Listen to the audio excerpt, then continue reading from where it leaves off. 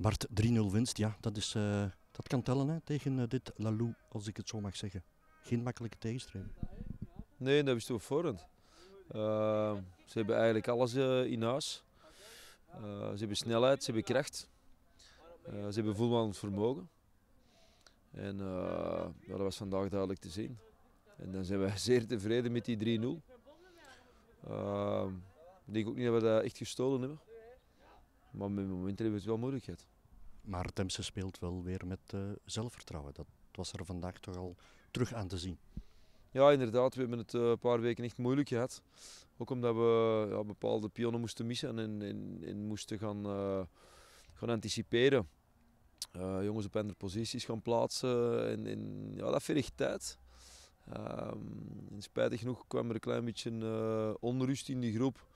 Uh, onrust in de zin van, van ze begonnen te twijfelen.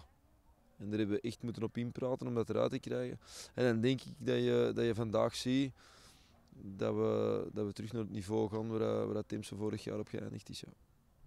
Tot slot, en dan ga ik je meteen laten. Uh, ja, er was heel wat volk in de tribune, meer dan anders. Uh, vele leerlingen die hun diploma trachten te halen, het UEFA-diploma.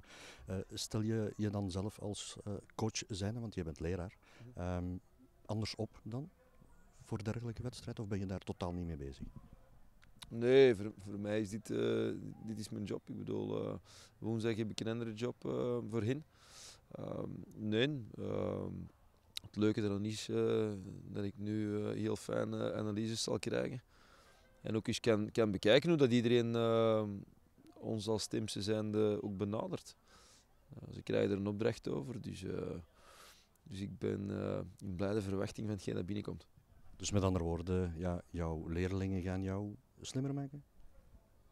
Maar dat doen ze elke week.